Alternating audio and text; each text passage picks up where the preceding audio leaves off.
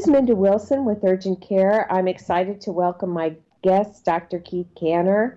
He's a certified personal coach practitioner and a USPTA coach, and it's it's really about taking someone uh, performance and making them a 10 on a 10 scale in terms of performance, which I find really fascinating.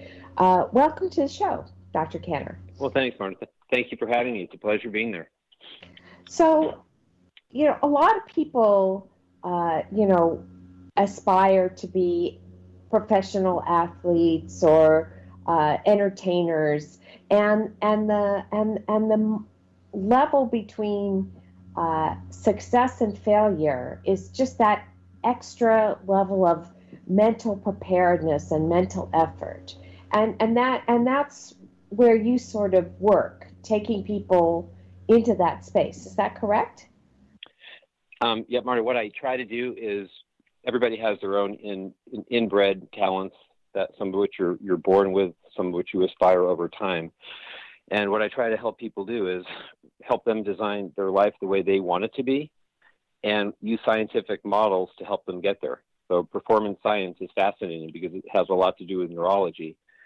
And in this day and age, we've proven and shown now that you really can actually teach old dogs new tricks. And so the world of mindfulness and neuroplasticity is now at the top of neurology and, in many cases, performance uh, work, which I do with athletes and professional musicians and actors and actresses, where you try to bring out the best of the best. And 70% of a person's success in a sport or anything else is based on their mental state, not their physical state. So you can have an athlete who is an okay athlete, but if their mindset's in the right place, they win. So it's how you think about things, what models you use, how you utilize yourself as your own personal internal coach, telling yourself what you want and how you're doing it, and practicing. And that's the key. Practicing, practicing. And now, practice. The, this practice, practice, practice doesn't make perfect. Pra- practice makes habit. So habits generally take between about three to four months of continual practice to make. Um, just like extinguishing a habit's about the same way. That if you stop doing something for about two to three months, you'll lose interest in it. But if you do something consistently every day for 21 to 28 days, starting on the three month model, it becomes a routine and you actually start to enjoy what you're doing, such as going to the gym. But you actually have to go to the gym for a month, month and a half before your brain registers that it's part of a new habit. So performance is fascinating. And during this time, I say to people, well, we're the most creative and we utilize our best resources when we're in trauma. So we learn from being in pain. And I try to work with my clients that way in this time when I've got athletes who don't know whether the season was going to go or not. The drafts this year was really tough for baseball and football um, my rock artists, when's the next concert? So trying to keep people focused on something, a goal, is difficult in this time. So that's when I try to get people to be creative. Use this time to try to breathe and think of things that you enjoy. Think of things that you can do, that you can master, and spend time creating it now.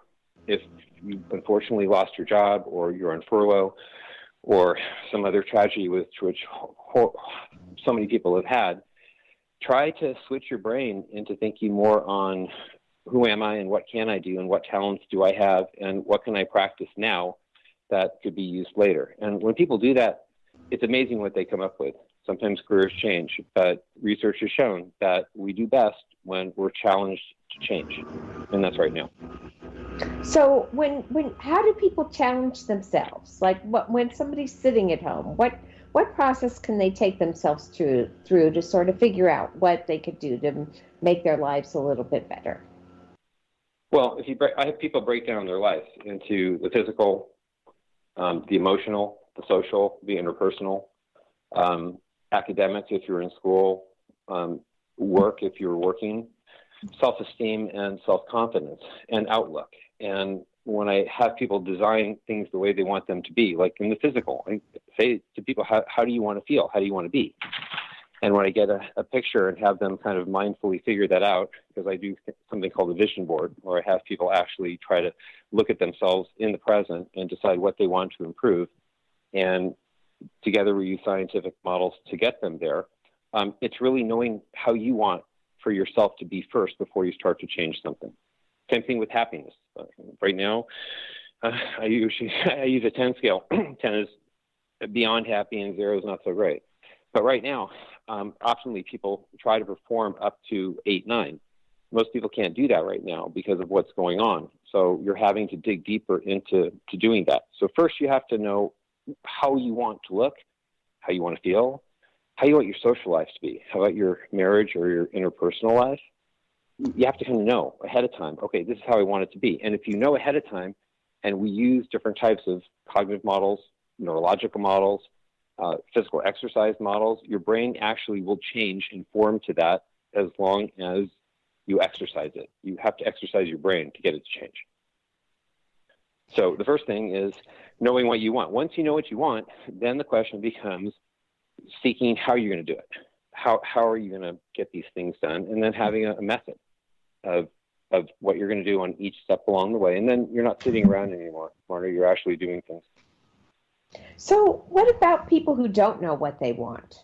How is there a way that they can become more clear? Well, you have to ask the person. If a person doesn't know what they want, then they're not happy. Obviously, they're confused. Mm-hmm. Um, right.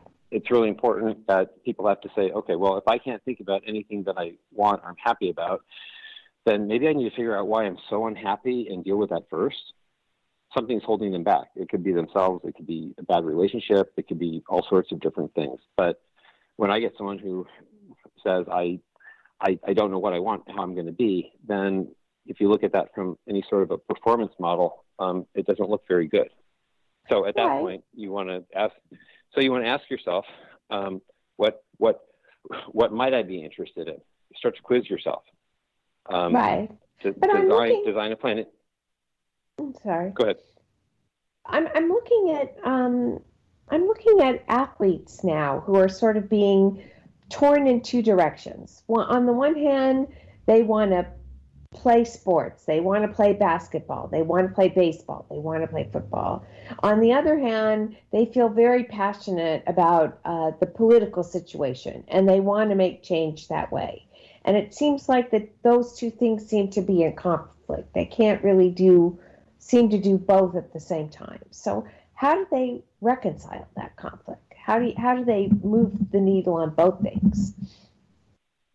Well, it's a tough one, and a lot of it also depends on what levels sports you're playing and the philosophy of coaches and how that all works. So it's it, it's a tough one. I think most coaches these days are trying to help their athletes focus on minimizing any external noise when you're participating in your sport. In other words, I teach people how to become mindful, and that's a performance technique where you learn how to eliminate anything else that might be going on in your head while you're focusing on you, yourself and your body and your sport.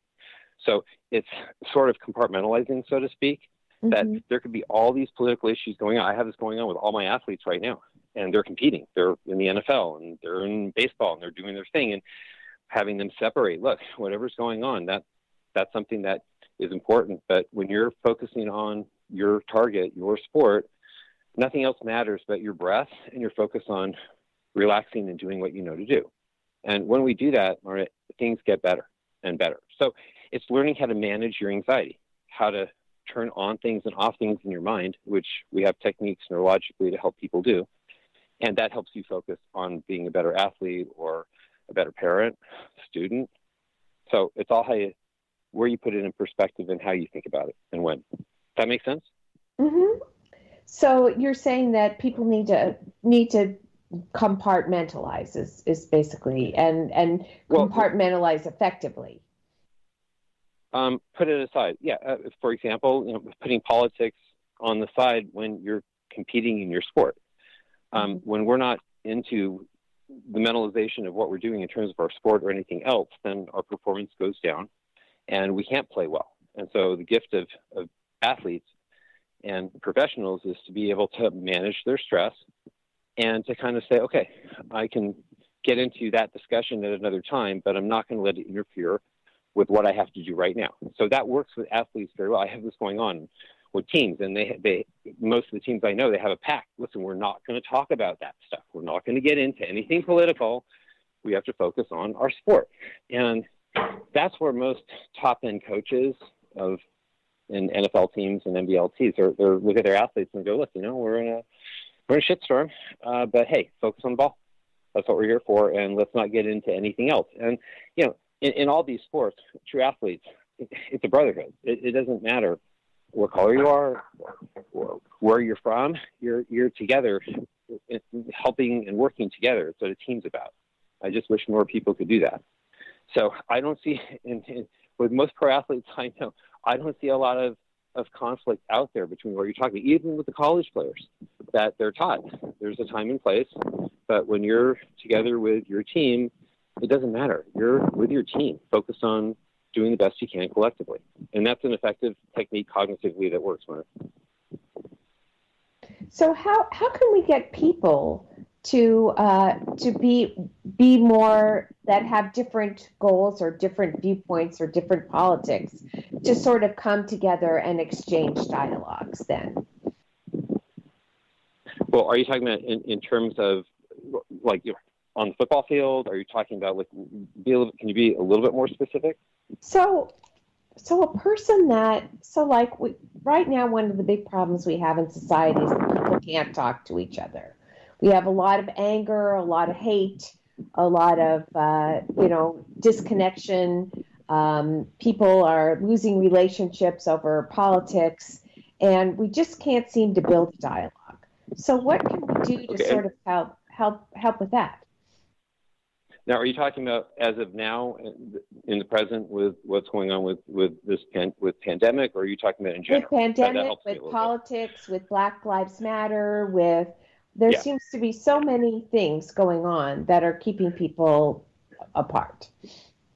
Well, it's it's more than that. Um, it's driving people crazy. Um, being um, having to follow certain types of un, un, unknown or habitual things that we're kind of told to do in so many different directions makes anyone feel unstable. You're you don't know what's going to happen between between masks, between rockets, between Black Lives. There's so many different things that have gone on now. Um, again, it's election year. Second term seems always to have something happen. Um, but people are very vulnerable right now, Marna. That's the problem. So right now, the goal is to realize everything is under a pandemic umbrella right now. I say to people, look, um, right now, 25% of adults between the ages of 18 and 24 are presently suicidal. That's a quarter of people between the ages of 18 and 24. Domestic violence, it's gone up 87%. Okay. Uh, it's horrible. Relationships, kids at home, no friends. Um, it has caused so much mental turmoil that dealing with that at the present is, is what's most important. So it's hard to kind of know and plan ahead when you're in an environment that at this point is very uncontrollable. So how do you get control? And that's where you have to focus on yourself because we're the only ones who can do that one way. So at this point, collectively, the idea is that recognize that you're a human being. That's the key to, in any of these conflicts. Let's stop talking about color, creed, race, any of that. Let's talk about being people, humans. So if people were actually operating on a level of being human beings, then none of this really matters. That's how you get to it the idea of every feeling like everybody is a human, and that collectively brings people together. So that would be my vote. Recognize that you're all on the we're all on the same team, whether it's a sports team or or a life team. Um, we're we're all in this together, and if collectively people worked like that, and had leaders who worked like that, then I think that we would have a much better chance of creating better dialogue. So it's it's it's the so the thing that people can do is just sort of recognize the humanness in other people and start from that point. Well, humanness in yourself first. Okay, that's the key. I mean, nobody's perfect, and people have to recognize that we're human beings and we make mistakes, and we do the best that we can. So, yeah, recognizing that we're, we're all human creatures. I, I mean, that's a really, really important piece. It's interesting that you know we're mammals, and we're like the only mammal that really doesn't follow that. Bears, I mean, bears get along with any kind of bear. They're just a bear, but but you know, humans can't, and because more advanced in terms of us having a cerebral cortex and things like that that make us smarter and think in the abstract, but it also limits people um, of being able to be together without having to find some sort of faction, which is sad. It is. It's terrible. And the level of and people now you're saying are are suicidal. They're coping with depression. What? How? How do they? How do they change things along? You know, how can they change their own mental situation well, so that they? If, if, well, well with, with, that percentage, that the national statistic, um, they get help. You hope they get help. I mean, the idea would be that in, in a population where people at this point, and it's understandable, they're and any sort of weakness that one may have right now. If you have a, I don't know, if you have an itch, it's going to be twice as bad because people are under so much stress. So, with people who obviously are at that level, um, feeling suicidal, then they have to get help. They're, at that point, you, you need to get help. You need to call a psychiatrist, a psychologist, a therapist, or someone, and, and really get on that quickly. But I think the point is that this has caused such a regression in all humans that everybody's on edge. Part of what's going on um, with the violence is the effect of cabin fever, that people have just had enough and can't take it anymore, and that brings out the worst in people. And we see that in social psychology, that in large groups where there's civil distress, then humans act worse than we've ever acted, and that's what's happening now. It's on the table with what's going on right now, um, presently, in some of our states. Mm. But bringing people together as the same team, human, is the key of any sort of performance method that we use, whether I use that in corporate business, or use it in music, or I use it in um, other realms. It's about bringing people together for a common cause. That is what unites people. And it's beautiful because you're just doing the best you can as a human being. Hopefully, you know, helping each other, not hurting each other. It's fairly idealistic, but if you get down to it, it's very important. So, how would an average person tap into a program like yours? I don't advertise my program, so um, mine is mine is word of mouth. Um, I think the key would be to look for mindfully based interventions. So we're looking at something called mindfulness. Um, we have a mindful center uh, in San Diego here at UCSD, and we, in that center, people go through courses and learn how to become self-regulated, how to be mindful, how how to put your sword down and work to, together collectively with other people. So mindful-based interventions are really at the cutting edge, and they're neurologically based. And so that those can work, those can help. But people have to be motivated to want that. You can't change unless you want to change. And then even if you want to change, it's still hard because you want to go back to what's familiar, that's your brain, and you're pushing it to do something different. So it's not only saying, okay, I want to be a better person, I want to become more humanistic. You have to work at it for at least three months before it becomes ingrained. But that's okay people are people are doing things right now. I've had all my clients uh, during this time. They, they they have to be creative. I, my my joke is you have to make lemonade. You have to be mm-hmm. positive. And so I've pushed all of my artists to write music to get ready for next year. Uh, they're all doing it. Their albums are ready to go. They're ready to get on the road. Uh, the football players are back playing. Baseball players are back there. So it's it's it's moving forward and being creative during this time. And that also brings other people up and gives them hope, which is great. So, my advice is to take a deep breath, realize that we're in a state of disorganization. Um, we don't have much control about anything that happens outside of us, but we can take control of ourselves and calm ourselves down and work on things that we feel are important for ourselves and everyone else. So that's a very important time that we can do that and need it. I don't understand how people self motivate. You know, what what what yeah. turns the trigger on that? Well, um, you have to. Well, self motivation has to do with. Well, the first thing is you have to decide, at least cognitively or intellectually, that there's something that you want to do. Now, if you can't figure out what to do, then seeking some help would be important. Um, you know, I, I, say to people though, just close your eyes and try to imagine things that you would like to do or could do, even if you've had no training doing it. And people come up with all sorts of different ideas. I've seen people come up with, uh, you know, side hustles, you know, Saturday jobs that they come up with, where they ended up because it was creative. They made more money doing that than in their normal job because it was something they loved. So motivation comes from seeking your own passions, your own passions. So you mm-hmm. ask yourself, what are my passions? And everybody should have passions. Uh, I find that people balance. There's a balancing between pay, people's passions and then their obligations. They may have family or children they have to be responsible for, parents. It's it's an interesting balancing act. Well, it's called it's called structure. Um, in my program and what I have to do with my clients is everybody has a planner. You have, you have a schedule of your day, and in that day, it's broken into four components. One of them is self care, big time. You have to take care of yourself. Another one has to do with industry, working or going to school. That's another side. Then you've got your social time, family time, and then you've got your passion time.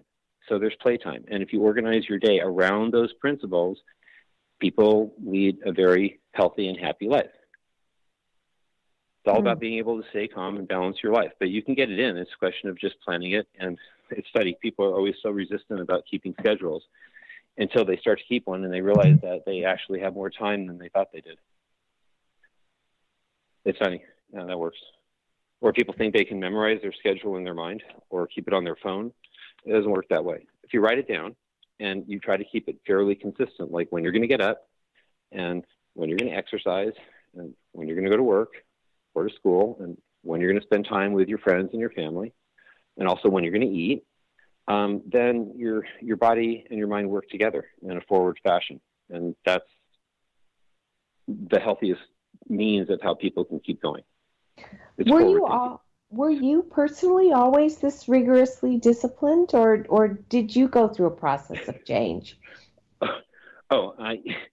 Um, I'm a big believer that you, you you can't do something unless you've gone through change. Um, no, I've gone through my own positives and, and negatives. And I think that what I've learned is as I've gone through them, what it's done is it's just made me better, more creative, and passions have increased. So no, I mean I think that we all have you know our history of hard knocks. Um, some of us, self-included, sometimes you have to get hit pretty hard, but eventually, I think as you go through things and commit to just making some changes, and it, you start to do it. And once you start making some changes, your brain becomes more plastic. It becomes more oriented. It's pliable. It, works. And what I have people do in my program, aside from the goals that they're working on in terms of change, is I have fun things that I have people do neurologically that gets their brain to lighten up. So you have to wake up in the morning and be grateful. Mm-hmm. So, could you give us an example of a quest of a person who's sort of going through this process? Sure, I can think of um, a number. Um, I'll stick with kind of an, an age group, which is particularly uh, vulnerable, and that's men between the ages of about 24 and 29, where there's the sense of not feeling necessarily solid in who they are, what they're doing, and they're not. Perhaps graduated from college or have been working, but they're not in an area yet where they make enough money to support a family.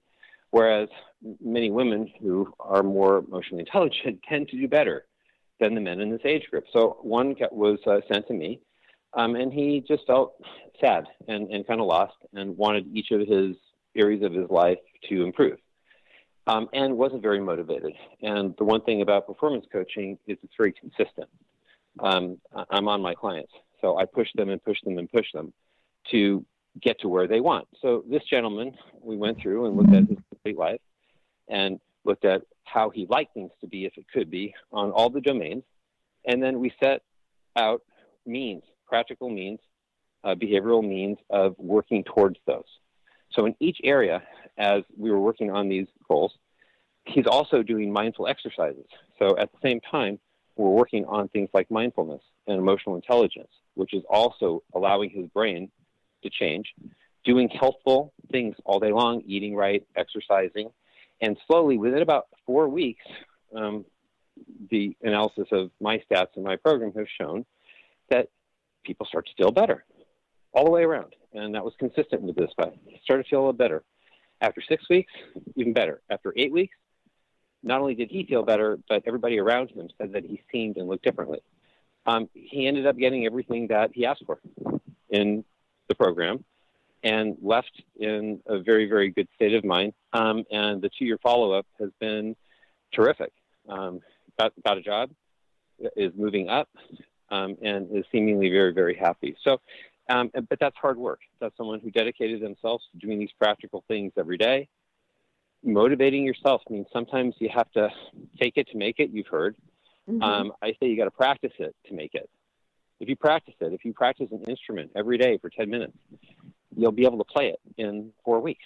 It's anything we do, but you have to. So the motivation, Minda, comes from the person saying, I might not feel it, but intellectually I want it.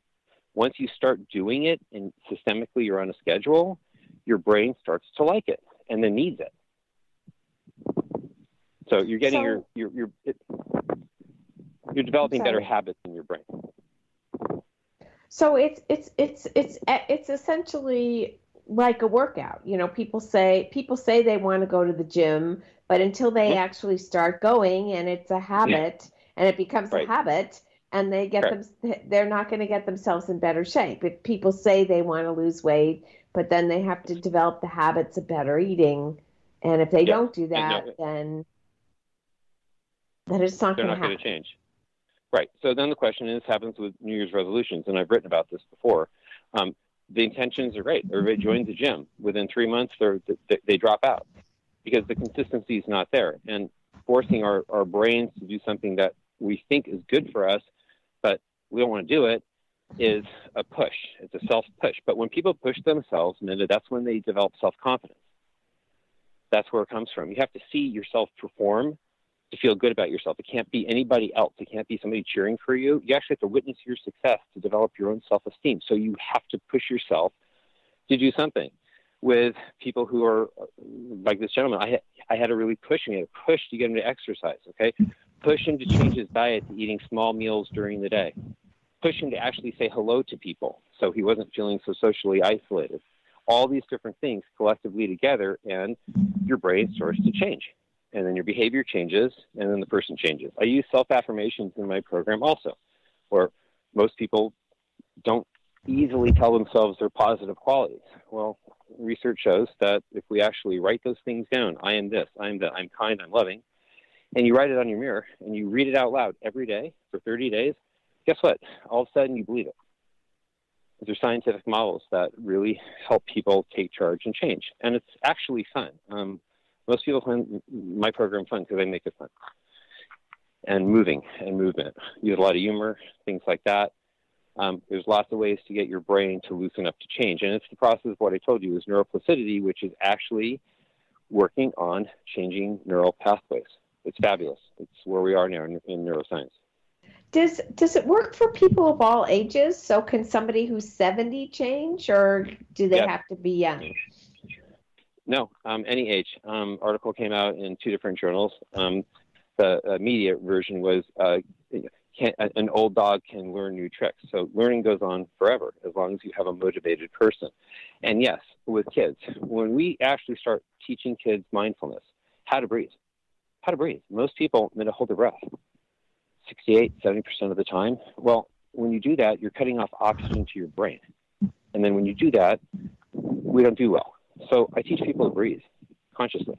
And when you put that and help a child or small kids utilize their breath to calm themselves down, their anxiety goes down and they don't get into conflict as much. So yes, I apply, applied this technique to a 18 month a child who was biting her newborn brother. So I helped. Uh, I, I threw a, a wedge in the middle where I actually gave a color a colored tennis ball to this little girl and said, "Look at the ball and breathe." Before you bite. And so it stopped her. And so she took a deep breath, looked at the color of the ball, and didn't bite her brother. So that's, yes. So the learning piece to this is at all ages. And it's not terribly complicated. It just, just takes practice. Wow. So, so with when that's something that may work for kids that are home now who are stuck at home. Yes. I mean, Absolutely. Oh, I, I've been working with lots of families right now because of this. And how do you keep your kid on track? Um, at the the school one, I'll give you an interesting story. Um, kids these days, most well, we're going on, on. Finally, most kids are at least online, where you can see your classmates and your teacher. You're not left on your own to try to figure out how to do your classes, and parents are forced to be teachers. So, routine, routine, routine. So one of the things I had parents do was uh, like a school bell. I had one, one, one father buy a gong. So what he did is he kept his kid on the same schedule at school. So when the gong went off, it was get up, and then it was have breakfast, and gong was go to first period. So the kid would sit down, and then the two bells to get from first to second. So put them on a put put them on a bell system, and it worked.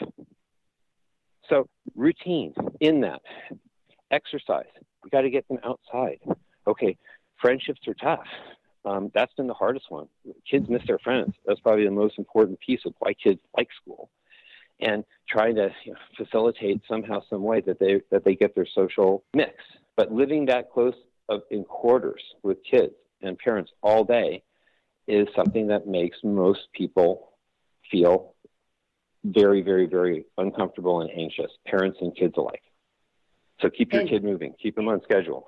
Uh, do the bell. I love the bell system. The bell system works. He bought a gong. The, the dad also just to spice it up. I think he bought a kimono robe too. So he walks around with this gong. Boom, six o'clock. Kid gets up. Six thirty breakfast, and it works because the, the the kid is responding in his brain to what he's familiar with, which is the bell system when he's in school. So scheduling, keeping your kids on schedule, matching schedules, um, making sure that they're distraction free when they're doing their schoolwork, but making sure that they've got fun things that they can do after school, after. Mm-hmm. So they have something to look forward to. So this is where you have to be creative and structured, um, but that seems to work. So interesting. So what you're saying is that us keeping somebody, so helping helping your family is keeping your whole family on a schedule. Maybe not just your kids, but you too. Absolutely, absolutely, everybody. Because um, you have this happen when you have people stuck at home, and they're used to a, routine where, let's say, they go to yoga or they go to the gym or they go to church, and they can't somehow, some way, we've got to utilize that familiarity in some other context. And that's why we've seen a lot of things go online. I have a number of colleagues who are personal trainers and, and yoga instructors, and they've put all their stuff online now so their clients can see them. And it's a wonderful way to get that. And it's easy. Anybody can search online on YouTube and find something. So, yes, a schedule that involves health. You want to make sure that you're eating and that you're sleeping, all the things you need to do, um, and that you are breathing. And try to relax yourself. Don't try to future trip. That's the biggest problem people have is the what ifs. What if, what if, what if? And science shows us that when we try to predict the future, we're really bad at it, Minda. Like we're wrong 71% of the time when we try to predict something. Just like we try to guess how somebody else is feeling without asking them, we're usually wrong. So future tripping only does one thing. It makes people worry. So don't future trip. If I can keep people focused in the present, looking around and focusing on, let's say, the positive things around you, because we do have a choice of what we think. And you can choose to be a human. You can choose to say, look, all this stuff's going on, but I'm still going to be friendly. And every day, try to say hi to people. It's hard with a mask, but I do it every day. I get the what? I, go, I went, hi. They go, what? I go, hi, hello, hi. Oh, hi, hi. A funny technique, but I, you know, I should, but we've got to be positive. So positive thinking. Hold on to what you can control. I, I love the this is a creative time. You know, uh, do things that you enjoy. Um, use your mind. Try to create something. Journal. Think of things that you might want to create because these times when we are in critical trauma times is when we are on the verge of something great happening. Each time for everybody. And you get not when people knock down, you have to you have to feel pain in order to grow. So that's what makes the motivation um, into difficult. Is what motivates people. Okay, that the pain of change is is is is is better than the pain of staying where you are. You have to ask yourself: Is this really how I want my life to be, or do I want to change it? But with science, we can change it. That's the difference now. It's, it's neurology. It's different. It's a different story now it's actually really kind of cool. I like it. So, if people want to get in touch with you or want to learn more about your programs, what's the best way for them to do that? Um, I do have a website that um, needs to be updated, but it's uh, Dr. Keith personal drkeithpersonalcoach.com. I don't even know my own website. Isn't that horrible? Yeah, it's dr. keith drkeithpersonalcoach.com. Um, I know. um, and so I, I have uh, three different things. I have my own, um, I have my own coaching coaching practice here, um, and I've got um, contractors that work with me too. I also work for Dynamic Sports Group, which is one of the top sports um, agencies representation where we represent many pro players, and so I'm their performance coach with them. And I also work with Live Nation and Sound Productions, where I work with a lot of bands who are working on improving their performance on stage and writing, and it's fun. Sounds wonderful. It sounds like you've sort of moved yourself into your top performance mode and well, made a good. Yes, that's why I developed this program. I mean, going back, um, I decided that I really wanted to do something that involved you know the complete human, not not just one part. And so I did this program. I created it by looking at change models and tested it with a population, and I put myself through it, and I live it. Amazing. Well, Dr. Kanner, it's been a pleasure having you on the show, and I look forward to talking to you again. This is Minda Wilson with Urgent Care.